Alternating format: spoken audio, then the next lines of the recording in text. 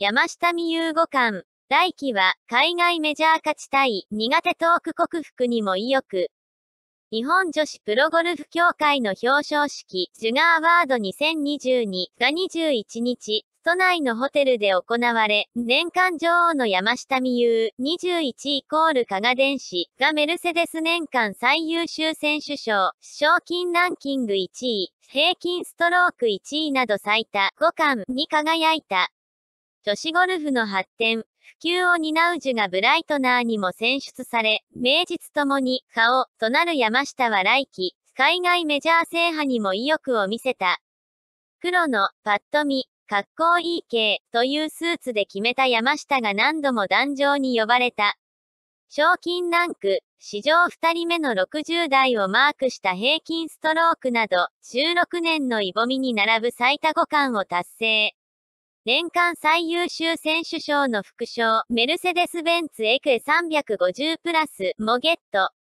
ドライブは、白浜とか行きたいなぁ、と笑顔を見せた。圧巻の1年、12日には首相官邸で岸田文雄首相と面会した。だがここで思わぬ力不足を痛感する。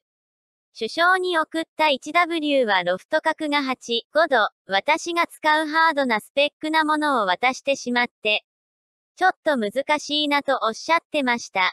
緊張で何を話したらいいかもわからなくなってしまって。さすがの年間女王も苦笑した。芝の上では無類の強さを見せる山下も、トークが苦手、という。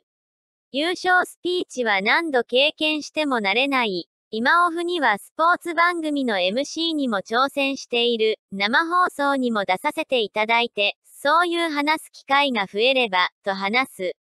味のあるコメントで、メディア賞ベストコメント部門を受賞した金田久美子の姿を、戦望、戦望の眼差しで見ていた。